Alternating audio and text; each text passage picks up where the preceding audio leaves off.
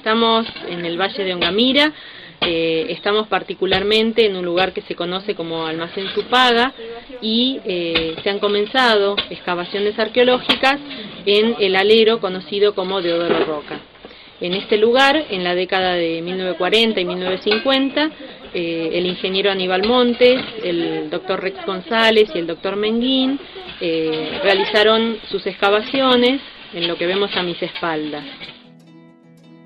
Ahora lo que estamos haciendo nosotros es, en primer lugar, quitar a pala y zaranda el relleno de esas antiguas excavaciones que fueron tapadas eh, para, bueno, volver a buscar el fondo de esas excavaciones.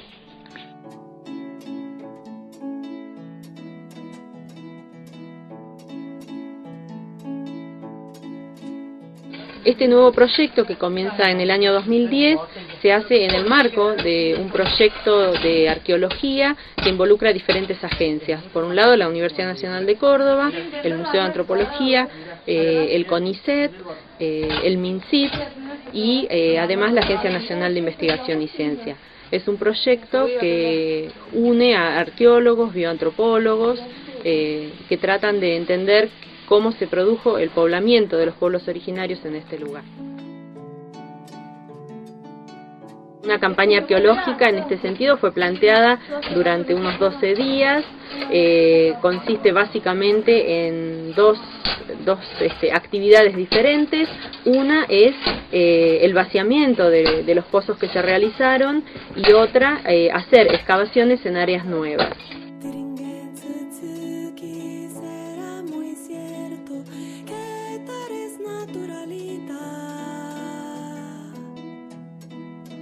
escucha pure pecismale, cucia no quatanca, tiringen tsutsuki.